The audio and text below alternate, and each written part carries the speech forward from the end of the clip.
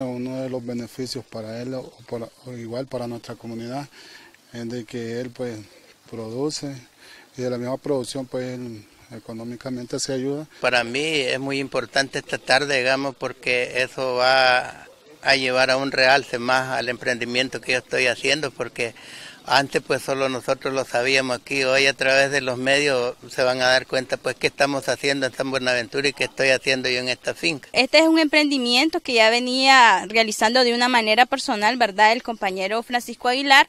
Entonces Marena viene dándole el acompañamiento y la asistencia técnica para que él las instalaciones cada día tras día pueda mejorar en coordinación con todo el sistema de producción, consumo y comercio para que él puede hacer un modelo para otros productores y así poder este, aumentar ¿verdad? La, la oferta de los zoocriaderos a nivel del municipio.